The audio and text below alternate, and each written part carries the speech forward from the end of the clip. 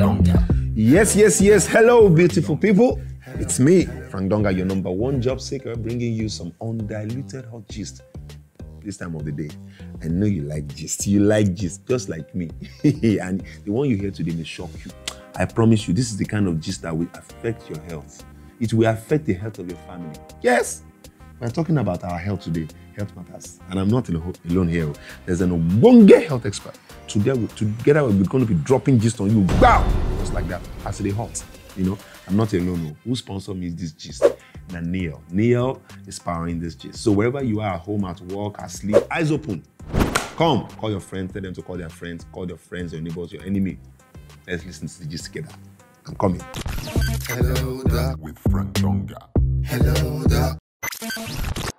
You're listening to Hello, Doc, with Frank Donga.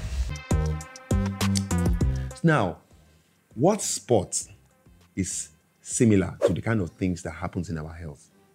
I repeat, what sport has similarities, similarities to the kind of things happening in our health or our body?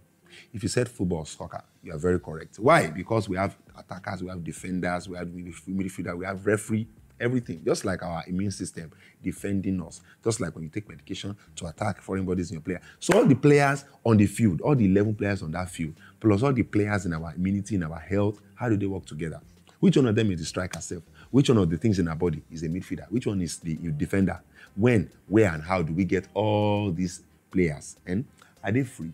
Talking about the things that make up the immunity in our body. If you miss one, what happens? And remember, I told you I'm not alone today. There's an Obonga health expert today joining me on the show. And that guest is no other person but our own very own Dr. Anire Chimauduko. She's a public health um, professional and she's also uh, an advocate for women and children's health. She conducts medical outreach, screenings, health education, and other evidence based public health strategies. She's an associate fellow of the National Postgraduate Medical College of Nigeria, and she's a member of the West African College of Medical Health Physicians. And uh, together, we're going to be going through all the things that have to do with immunization, or when do you take it, or which one do you take, or everything about immunization. That's what we're going to be discussing today. You're welcome, Doctor. Thank you for Dr. having me. Great to be great to see you in the studio today. Yeah, great to have you. Good, good, good. So we're talking about immunization and our health. Mhm. And like, you know, we said, I said it earlier, defender, attacker, all these things. What, why exactly do we need immunization? Okay, so um, immunization is a process whereby you make somebody who is susceptible to a disease resistant to that disease. So it is a process of improving and increasing the immunity of somebody against a particular disease. So that's what immunization is. So that is like when you fortify your field with defenders. So that any match, as they play ball, enter your box 18, your defender, they defend you. Yes, yes. I like your metaphor. She, does immunization also attack when disease wants to come to our? Do they attack those things?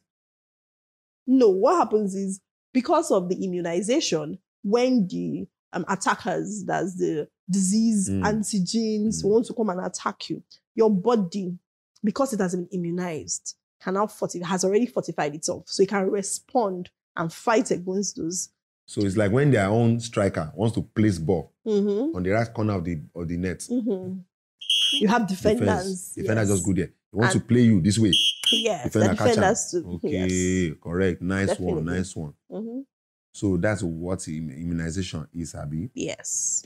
It's okay.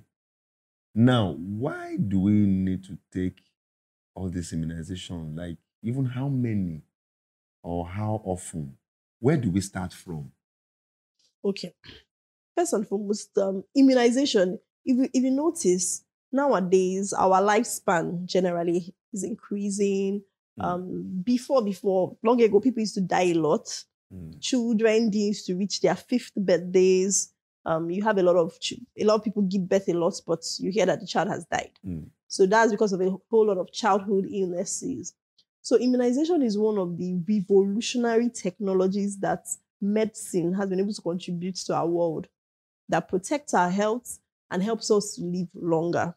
So um so immunization is very important.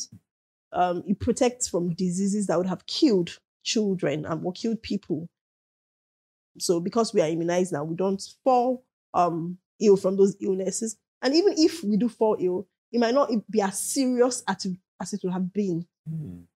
So that's the importance of immunization. So we should um, immunize children from birth. So in Nigeria, um, we advocate that from birth we start to immunize our children against diseases that are very common here in Nigeria. So some diseases that are common in Nigeria are tuberculosis, TB is very common, and it can be spread um, by um, inhalation. When you inhale, when somebody just coughs or even talks or sings, the person can release the uh, microbes into the air, and you, an innocent person, does not know, just breathing in.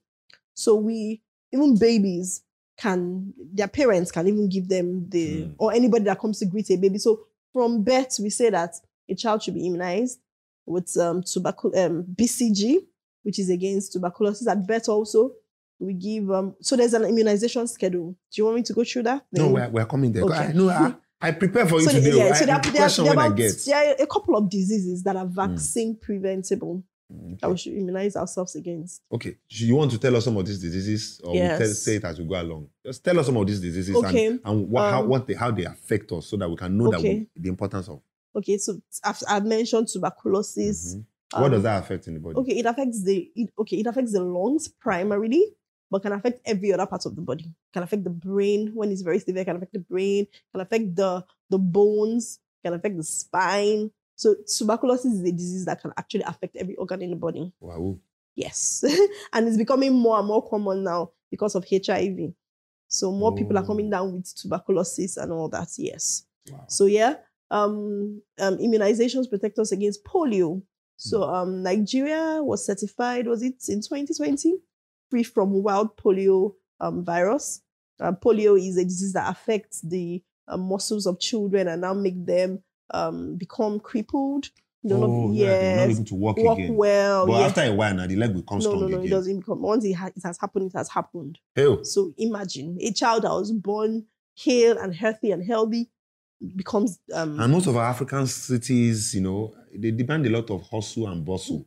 To survive, you need to be on your feet, literally, yes, yes, literally on your feet. Yes. If the feet are not affected, exactly. So that's a disability that that child has to has to um add to all the stresses of life. Chai. Yes, something you could have prevented. Mm. So we have hepatitis, hepatitis B. It's a it's a serious disease now. Um, it's one of the causes of liver cancer. Hmm. and all that. So hepatitis, and it's vaccine preventable. From the hospital, we immunize first against tuberculosis Hmm. before you go home and expose this child. So, Where, they, where did they, give that one? Is it in the hand or the yeah, leg? they give it in the in the in the Hmm? in the arm, the upper arm, Okay. in the upper arm, um, intradermally. Don't worry, that's a that's a bit, but they give it in the arm. Okay. So yes. I will not turn to Yes, one and one of the ways you know if a child has been immunized is to check for the BCG scar. The name of the vaccine is BCG. That's the one you give on day one before the baby leaves the hospital. Yes. Not So- with this uh, USB. Yes, I can see it. You have it. Not with that USB adapter where all of us carry. No, from. eh, eh, Everybody get it. Everybody, yes. Hello, Doc. with Frank Donga. Hello, Doc. With Frank Donga. You're listening to Hello, Doc. With Frank Donga. So you you can. That's one way we check if a child has been immunized. BCG. You may scar. have done that. believe me, Yes. So at birth, we give BCG. We give in Nigeria here we give OPV. OPV is oral polio vaccine, Hmm. and we also give hepatitis B at birth. Then it doesn't end there. That's within the first As the child is week, born. or as the child is born, Okay, yeah, within before the child leaves the hospital at birth. the first few days, Yes, at birth as soon as possible. as soon as possible. Yes. So that's one. Of those three prevent uh, for against uh, um, tuberculosis, tuberculosis polio, polio, and um, hepatitis and B. hepatitis B. Then six weeks, the child is supposed to come back and then take another set of vaccines. So in Nigeria here, we give um, there's something we call Penta. Penta, if you know, if you did your maths, Penta Mm. means five. So there are five vaccines in one. Um, we have the it contains um, diphtheria, the one against diphtheria, uh, pertussis, whooping cough, and um, tetanus. Mm. Then hemophilus influenza type B and um, hepatitis B. That's the penta. Then we also give OPV again, OPV, another set of OPV. So then we give um, what they call pneumococcal vaccine. That one protects the child against um, um, there's a bacteria pneumococcus that Mm. causes pneumonia. So give that child. Um, in Nigeria, yeah, we can also give rotavirus. Rotavirus is one of um, causes diarrhea in children. However, it's um you have to pay for rotavirus, but the others are free. Oh, all the other also all these vaccines you have been saying, those Yes. first three ones they Um, are yeah, free. They're, they're free. They're very Ah. free because we want our people to be well. We'll talk about that. Why I'm sure I'll tell you why it has to be free because we don't want someone saying like I couldn't afford it and so no, I won't give my child because when a child is not immunized, it affects another child. Mm. We'll, we'll go we'll go into that. So at six weeks you give that. At ten weeks you come again for those ones you give at six weeks again. You give it again. That's the penta, the um, pneumococcal, and if you give rotavirus, you give it again. Mm. 14 weeks is the same thing too that you give, just Mhm. that you don't give you don't give pcv again pcv is just twice that's pneumococcal vaccine is just twice So so I'm glad you said because another thing is um, the cost of some of these things. I wanted to say hey, people will be Mm-hmm. but i'm not i'm not finished though okay. after, ah, it- ah, after on now. 14 weeks six months a child is supposed to come back and take vitamin a very important vitamin a protects against measles it helps to reduce if a child has measles it can reduce how severe measles is and it's just good for the child's well-being vitamin a. Then at nine months we now give the vaccine against measles and yellow fever. We wait until nine months because um we believe that okay when a child is born the mom also the mother breast milk and some antibodies also pass from the mother to the child to protect the child. Hmm. and it's still circulating in the body so we want those antibodies to go first. Oh. that so measles is one of those um measles vac- um antibodies one of those antibodies that still circulates in the body. Mm. so we want it to go completely and then we now give the one Fresh it yes so nine months. The message i want people to get is that immunizations are important.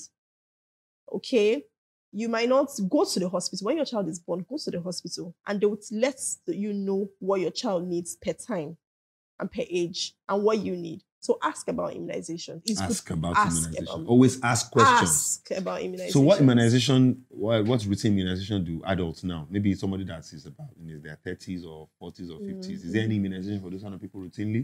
Okay, yes. Not yes. It depends. uh, But that at, at that age, it depends on um your situation in life. Mm. It depends on if you are traveling. So there's something called travel medicine, and um there are some regions in the world you are traveling to that you need to take certain vaccines because of the diseases that are prevalent there. So it all depends on you and your individual risk and your life circumstance. Mm. So um if if if you're worried about your health, just go to meet a health professional and they'll advise you more on what you need per time and per Are there vaccines that are meant for women alone or men alone, or everybody can take any, collect any kind of vaccine? Everybody can collect any um, kind of vaccine. The one I was going to say was for women is HPV, human papilloma virus. Can I take it? Yes, because okay, so that's another gist. because um, human papilloma um, virus protects against cervical cancer. It is women that have cervical cancer because they're the ones that have the cervix. Cervix is the neck of the womb. However, the HPV is a virus that is found in the is a sexually transmitted um, infection.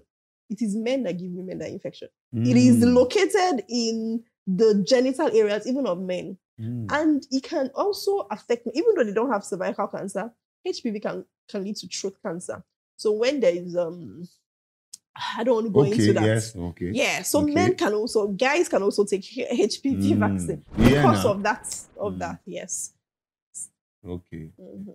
okay. So that, that means also to protect the man and the woman. So yes, and the woman, the woman he might meet later, and but it's more, it's very, very important for women. But I hope you get the gist. yes, yes. So, yes. so mm, as you are consuming the information and other things that you are consuming, Mm. go and take vaccine. Your own take good. vaccine. Like the football we mentioned, you have Mm. those defenders always running around on the field of your body Mhm. to make sure that if any ball is coming, any ball of disease is coming towards your net, give it nothing, block it, deflect it, just to keep you healthy. Thank you very much, Doctor Yes. Anire, for coming on the show. Uh, we still have a whole lot more to discuss, but you guys have heard it. You know, I promised you that my Obunge health expert, is a public health expert. She is going to tell us so much about this all immediate immunization. We still have a whole lot more for you in other uh, episodes of this podcast. Don't go anywhere yet. But just in case you have more questions you, you know, bothering you, you want to ask questions, you need clarification, you need maybe the vaccine schedule for your location, you want to ask questions, you want to say something, you want to share an experience, you know what to do now. Send us a message. On our social media handles, you can follow us at New York Campaigns. Use the hashtag Change Creators and can get in touch with us. Thank you very much, Doctor. yeah. All right, ladies and gentlemen, thank you guys. It's always a pleasure having you join us on this show. Hello, Doc, with Frank Donga. See you next episode. Hello, Doc. With Frank Donga. Hello, Doc. With Frank Donga.